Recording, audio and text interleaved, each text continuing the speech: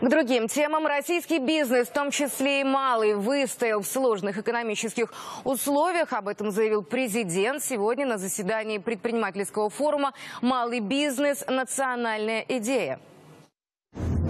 Число зарегистрированных коммерческих организаций в сфере малого бизнеса в течение 2015 года выросло на 2,9%, а индивидуальных предпринимателей на 3,7%.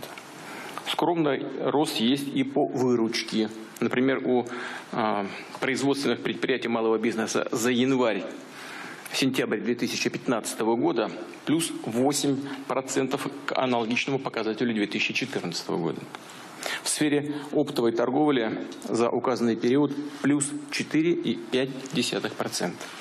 Конечно, нужно приложить все силы, чтобы в сфере малого предпринимательства стабильность сохранилась.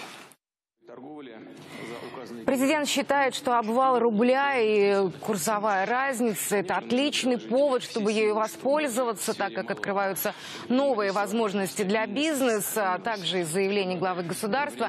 Нужно приложить все силы для того, чтобы сохранить стабильность в сфере малого бизнеса. Его государство будет поддерживать, как и прежде. На заседании форума президент пошутил о чиновниках, которые не поехали на экономический форум в Давос. Большое подспорье для тех, кто открывает свое дело в сфере услуг, производственной, социальной. Я смотрю, здесь большое количество коллег моих из правительства. Непонятно, кто в Давос поехал. На, на лыжах кататься. С большим желанием что-то раньше ездили, а теперь есть. Видимо, денег не хватает на билеты. Экономят.